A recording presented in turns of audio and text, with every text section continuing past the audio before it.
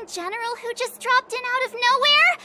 Oh, she's so awesome. I mean, when Yun Li swung that massive sword, she just casually blocked her attack with ease. Mine too. Uh, yeah. But to go up against Yun Li is quite impressive, you know? That aura of heroism and grace. It almost makes me want to learn Xianzhou swordplay. You think so too, right? I agree. General Fei Xiao is indeed impressive. Uh, I was talking about Yanqing, actually. Thanks for the kind words, Miss March. The war dance is coming up, and I've been chosen to represent the Cloud Knights in the ceremony. I've had my fair share of defeats lately, and even though I know there are always more skilled sword masters out there, seeing General Fei Xiao's skills today has made me feel a bit uneasy again. Don't underestimate yourself. After all, generals won't fight in the ring during the war dance. Just remember the state of mind you had when you single handedly took on me and Blade, putting life and death aside. With that mindset, you can prevail against most challengers. I see. Thanks for the advice, Master Dan Heng. By the way, now that today's events are over, General Jing Yuan wants to invite all of you to the Seat of Divine Foresight. He has something important to discuss. I bet it's about how to deal with the generals from the Yao Yaoqing and the Zhu I really don't want to get caught up in grown-up games so soon. I just hope Generals Fei Xiao and Huaiyan can see the truth. We don't need any more chaos on the Luofu before the war dance.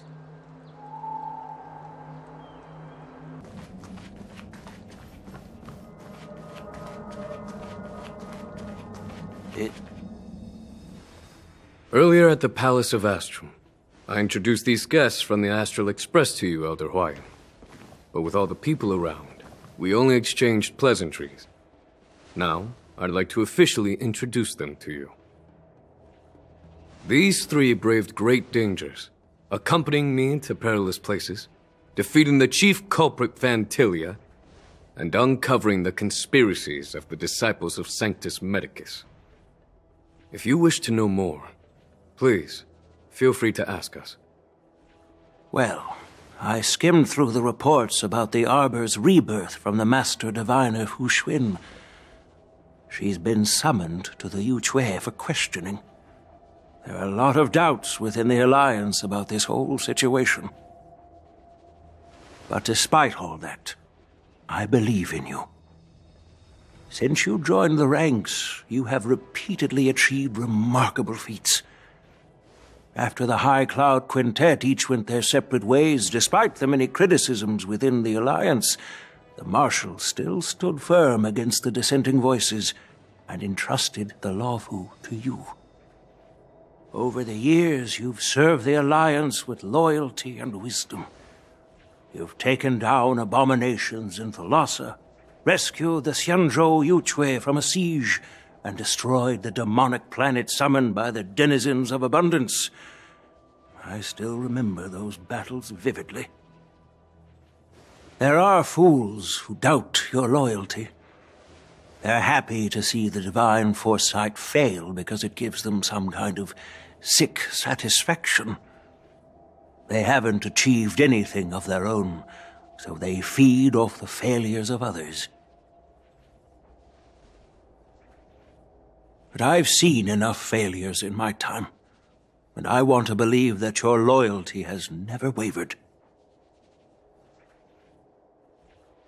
So, General Fei Xiao of the Yaoqing is the only one investigating the Ambrosial Arbor crisis on behalf of the Alliance? no, no. I am too. Old man's words always catch me off guard.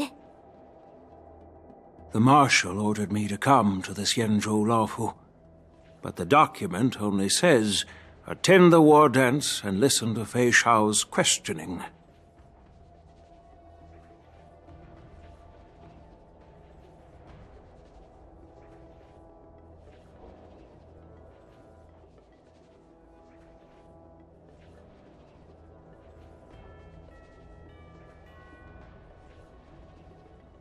The Marshal is well aware of Jing Yuan's purpose in holding the ceremony and understands the situation he is facing. She mentioned it because she believes both issues are important. Thanks for your kindness and sincerity, Elder Huaiyan. But is it appropriate to tell everyone here about the Marshal's orders? By introducing the Express's witnesses to me alone, Aren't you aiming to discern the intentions behind both my actions and Fei Xiao's? And whether there's any discord between us? Well, since I'm being open and honest with you, I encourage you young folk to do the same. As for the Ambrosial Arbor crisis, all I need to do is listen. General Fei Shao will be the one asking the questions. To be honest, I'm more concerned about the timely start of the war dance. Oh, by the way, I've prepared a gift for the war dance.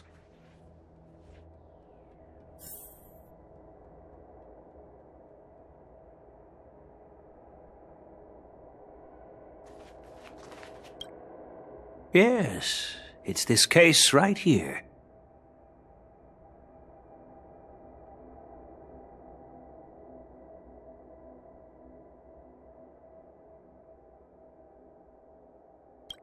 There will be numerous contests and celebrations during the war dance, and the main event will be the Ringmaster's Challenge.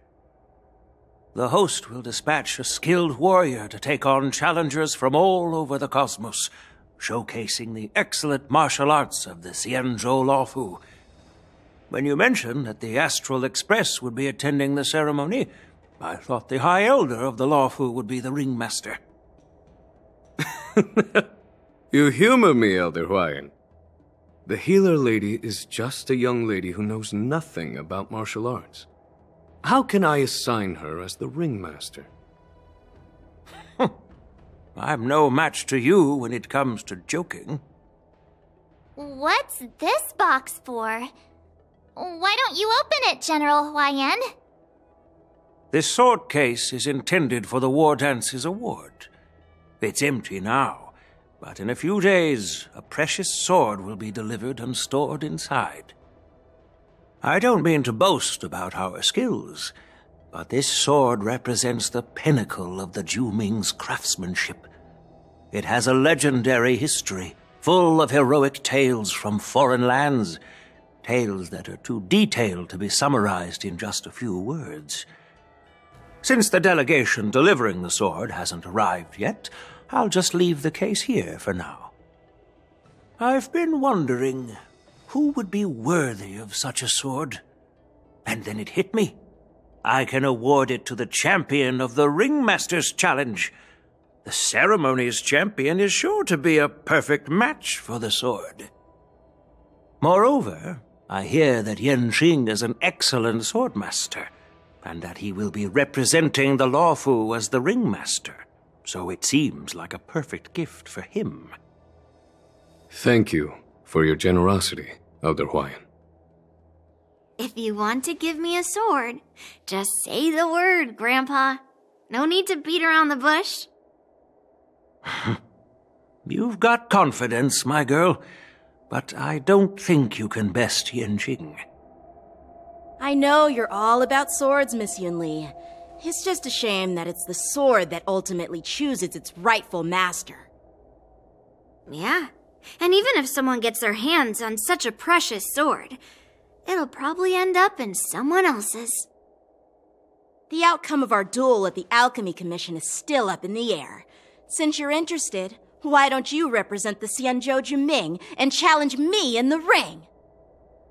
That's exactly what I had in mind. Nobody knows who's gonna come out on top.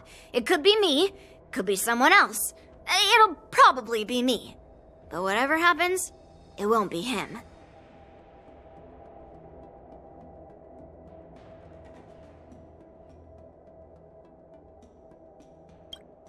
Ah, not to be rude or anything! We've been watching their drama! I'm dying to find out who beats who! Quiet down. We have other guests here. I've prepared this sword to add some excitement to the ceremony, not to have you two squabble. It's not a good look for the Alliance. While you both seem confident that you'll win, you need to remember there can only be one winner and one loser in the ring, which could lead to hard feelings. Actually, I have an idea. We don't know who the winner will be, and it might not be either of you. But if you're eyeing that prize, you'll need to work together. I want you to take on an apprentice who will take part in the war dance and win at least one match. How does that make sense? In my humble opinion, while a Cloud Knight is commendable by securing victories, it's even more so to pass on your skills and spread the way of swordplay. I'd be greatly pleased if this apprentice could represent the Express in the war dance by displaying their Cloud Knight flair and prowess. Well, Elder Huaiyan's idea is quite interesting. Imparting swordplay skills requires teamwork, and both the winner and the loser will learn a valuable lesson regardless of the outcome. The question is, whom should the two of them take as an apprentice? Huh? Who? Wait, me? I noticed just now that Miss March seemed quite interested in the outcome of your sword fight, so I thought, why not teach her the art of swordplay? Uh, oh, wait. Are you serious, General? Why am I being dragged into this all of a sudden? I've never practiced swordplay before. I'm a total newbie. You really think I can learn it? Well, you'll probably realize I have no hope and give up on me. And that'd be so embarrassing.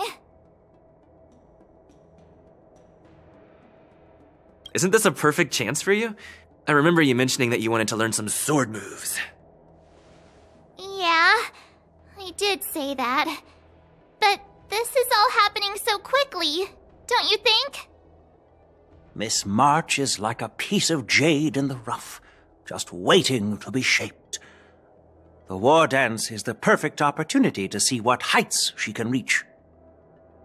I appreciate your kind words, General Huaiyan. But won't teaching me swordplay be a waste of Yanqing and Yunli's time? They should be preparing for the ceremony. Mm, Plus, I heard that each swordmaster has their own special moves. What if they let something slip while teaching me? If everyone knows each other's tactics, won't that make it hard to catch people off guard during the war dance? That's considerate of you, March 7th. But don't worry. It'll take you at least a decade of hard training before you can even start learning special moves. No need to freak out. A few Zhuming swordplay tricks will mean you'll be more than equipped. Uh, really? Looks like March's curiosity has been piqued. The whole point is to know each other's moves. Defeating your opponent in just one move? How boring would that be? Plus, what really decides a swordsman's fate isn't some special move. It's the solid fundamentals. So Miss Yunli has already agreed. What do you say, Yanqing? General, I I haven't graduated yet. How can I be qualified to teach swordplay to others? Huh. So you're admitting your defeat, huh? If you're not even confident to teach, why don't you let me be the ringmaster instead? Yanqing. Teaching an apprentice is also a way of honing your own skills and gaining insights. You've been an apprentice for years. It's about time you looked at swordplay from another perspective. I see, General. Then count me in. Now that Yanqing has agreed too, it all comes down to Miss March giving her nod. It's up to you to make the final decision, March.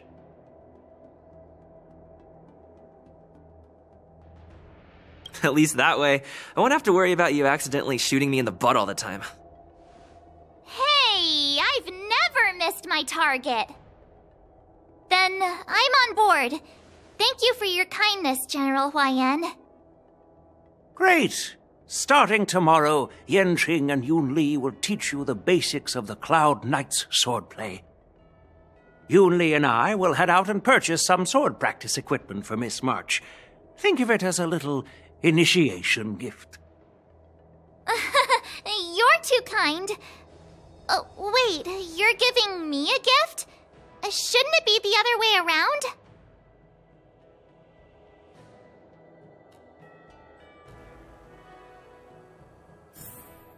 Ah, General Huaiyan's gone. Wait, why does something feel off about what we talked about?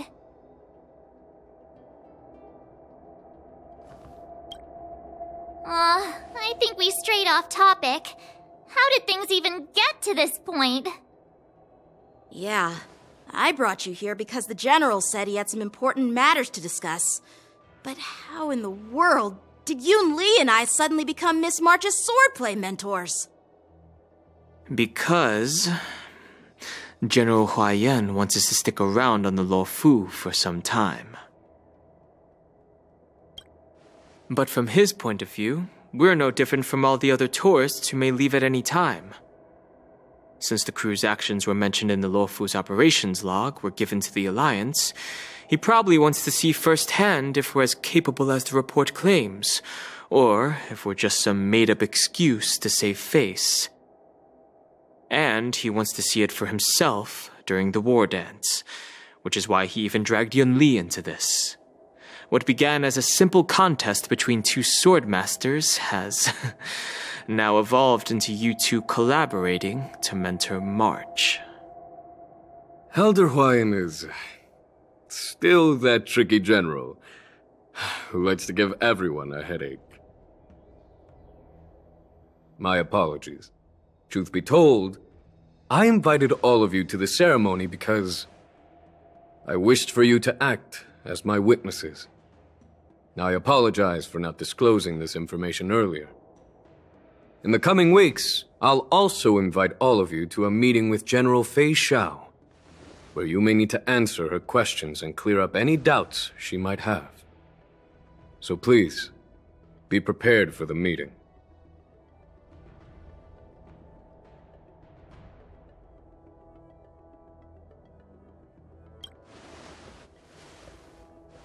Don't worry, General. No matter what happens, I'm prepared to stay here as the Express's witness and answer any questions. Thank you, everyone. General, I know there isn't much I can do to share your burden, but Hmm? as the Luofu ringmaster, I won't let anyone defeat me in the war dance. I know.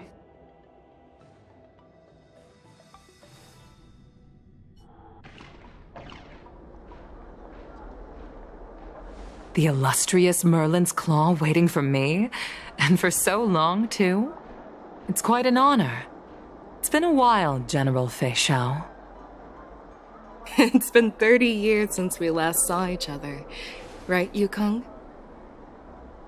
Yes. Back then, you were the vanguard of the Yao Qing's Verdant Knights, and I was a pilot of the Luofu's Rainbow Orbit fleet. Who would have thought that upon meeting again, you'd be a general, and I'd have given up flying? Really does feel like a lifetime ago. Well, I wouldn't say I haven't seen you in 30 years. After all, your great victories are announced through the Yellow Bell resonance system every day. So I'm well aware of your great feats. How's your health holding up? Hmm. Still stable, I suppose. Do you still remember the medic who saved me in battle? That healer with the odd name and peculiar temperament. What was his name again? Was it Pichu? Or Kachio? Jiaoqiu.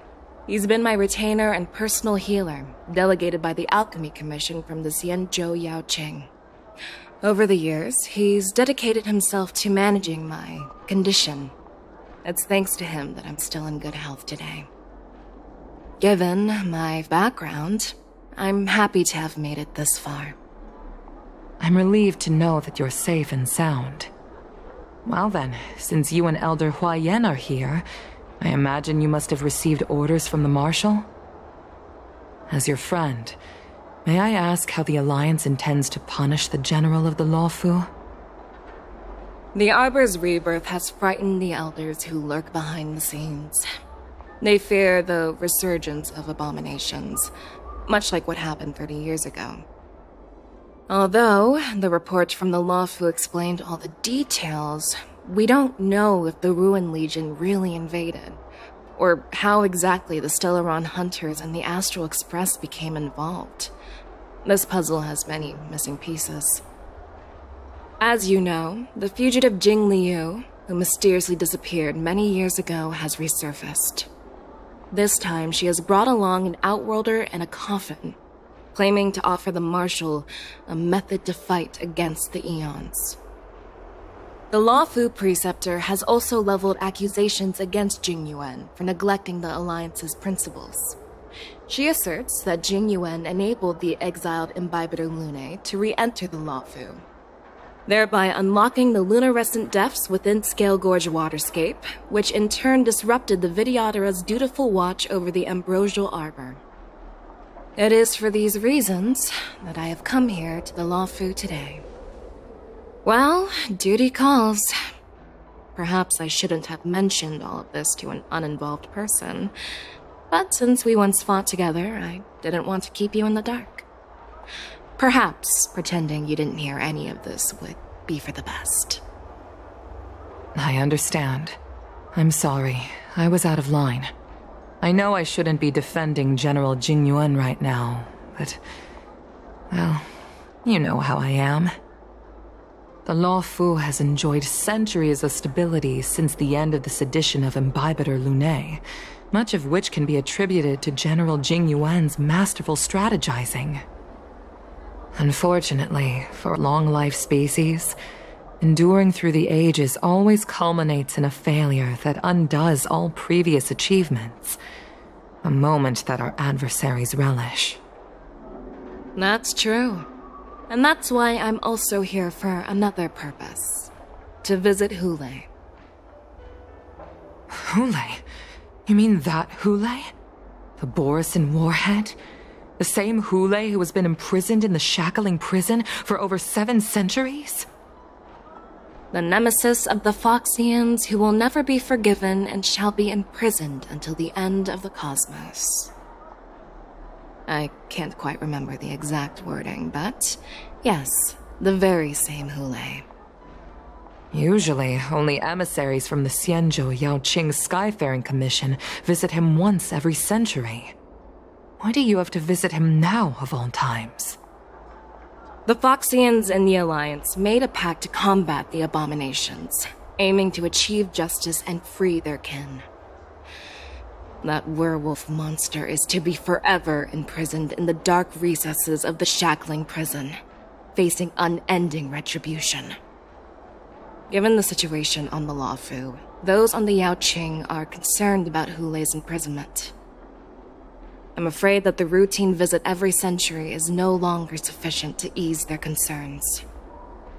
That's why I was sent here, to reassure them. It's all bad news. Well, not everything.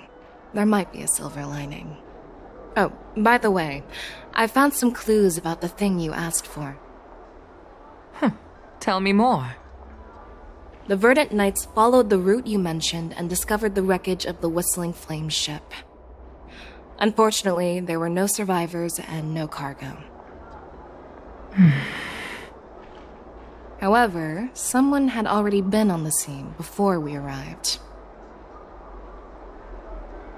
Our people? Or someone from the IPC? No, neither. Yukong, Have you heard of a person named Ruan Mei?